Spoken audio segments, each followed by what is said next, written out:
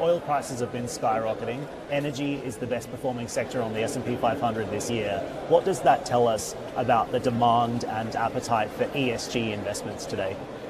Well, if you actually look at uh, the performance of ESG investments, and perhaps the kind of deepest market is the debt labelled, ESG labelled bonds. Um, they are actually performing and are more resilient than the broader market. So I think we'll probably see just under a trillion dollars worth of issuance when you're looking at ESG labelled bonds this year, um, down around 17% relative to last year. But if you look at the broader market, uh, Moody's is saying that broader market will be down around 27% this year. So as an asset class, it's actually held up reasonably well. But um, I think part of the narrative, I suppose, in a way, is that inevitably there has to be a tension between the short-term needs of energy security uh, and the long-term need for sustainability. And actually, we think you, you've got to do both. They're not mutually exclusive. Actually, they go hand in hand. And we were never going to be in a position uh, to move off of fossil fuels, which are what 80% uh, meeting 80% of our energy needs at the moment, straight into other alternative forms of renewables because we just don't have those at scale to replace fossil fuels as an energy source. So in, in the short term, in a way,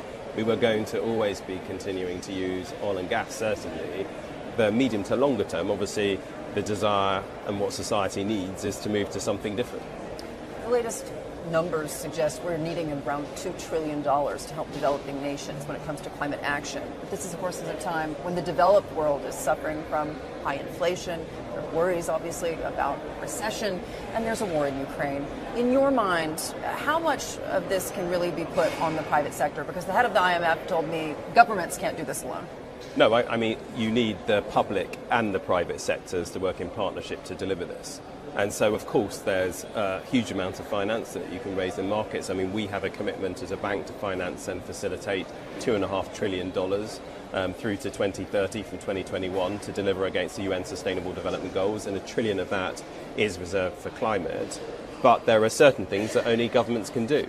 Um, you know, our view is that unless you have a price on carbon, and it could be cap and trade mechanisms of, or carbon taxes, you're not going to get the allocation of capital needed. And that's not something that we can do. That's a public policy issue.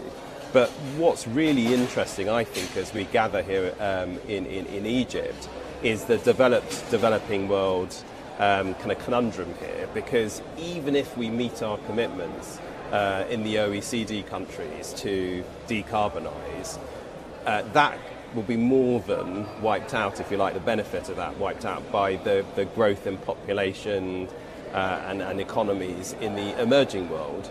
Um, and you know, at the moment, we're looking. You know, our equity um, thematic research is saying that by 2030, there's going to be a 20% delta between energy supply and demand because of that happening.